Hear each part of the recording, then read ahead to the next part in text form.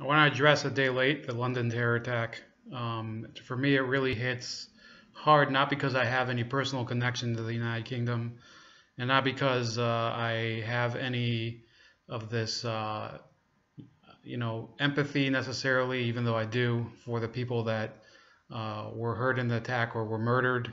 Uh, of course, I I think it's uh, appropriate to think uh, this could be anybody close to you because it happens here too. And it's happened in a lot of countries all over the world recently and even far earlier than that. So it goes without saying that um, I uh, support all the families and the people that lost their children yesterday and their parents. Uh, but what really is the message that I have is that a lot of the calls for sympathy, a lot of these statements of um, pain that are coming out of the media, out of these politicians, are nothing but the same lies that they've been saying for years and years. They don't really care about the British people.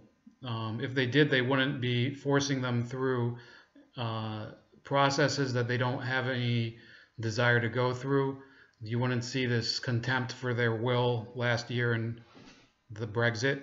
And you would see a lot more people putting on these uh, British filters on their profile pics. Not that that really meant anything when they did it for the French, and not that it meant anything when they did it for the Turks or the for the Germans, because the filter, the Facebook filter, is the ultimate, the ultimate statement of the um, reflex with no action, the reflex sympathy with no real change.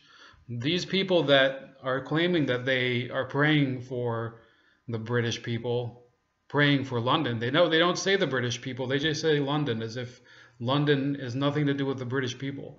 Those are people uh, that that don't really pray, I believe, ever beyond that. They, a lot of them have contempt for religion and if you're a British, if you're, if you're a religious person that's been spreading those messages, uh, pray for London or pray for Paris or anything, well, maybe your prayers should have been a little more sincere. And maybe you should have prayed that we would respect the will of these people, the British people, to be a free and sovereign nation again, to tell the European Union to go away, and to embrace their, their own great culture that they've had for hundreds and hundreds of years. The British people have given us the constitutional democracy, the par parliamentary representation.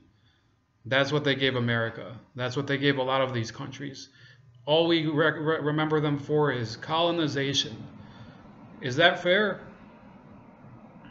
Is that fair? You always for some reason, commemorate John Lennon. You commemorate all these uh, British born and raised uh, stars that gave us the greatest music we had. I, will admit, too, I, I think Noel Gallagher, I wouldn't think the way I do if I didn't listen to his music. And Richard Ashcroft and Cat Stevens, even Cat Stevens, and you all know the story with Cat Stevens.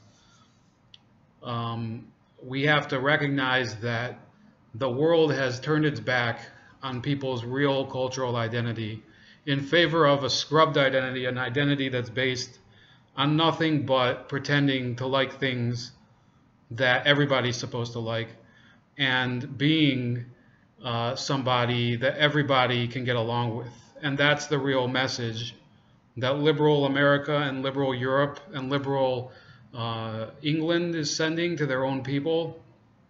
And I don't think that the British people are really believing that. I don't believe that they're believing the BBC and they're they're they're believing CNN or Al Jazeera UK or any of those those uh, telecasts. They know that the reason that this terror attack happened was because of policies that are made to the detriment of the very people that were hurt in this attack.